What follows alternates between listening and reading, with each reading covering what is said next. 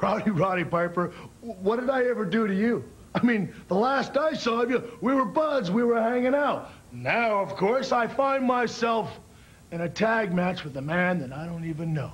Now, I don't mind taking on the opponent's British Bulldog and Owen Hart, but Yokozuna is my partner. I just got finished beating the guy up. And now I've got to try to depend on him? Come on, man, I don't know if that's gonna happen. The only thing that I can say thank you for is sending me to one of my most favorite places to perform in front of. At least the clique will be there behind HBK to support him. One way or another, British Bulldog, and especially you, Owen Hart, I'm gonna get my hands on each of you, and I'm gonna jack your jaws. Yokozuna, you better be behind me standing tall, my man, because if you get in my way, HBK and the clique are gonna do a number on you, too. I don't know whether you're with them or you're against them. I guess there's only one way to find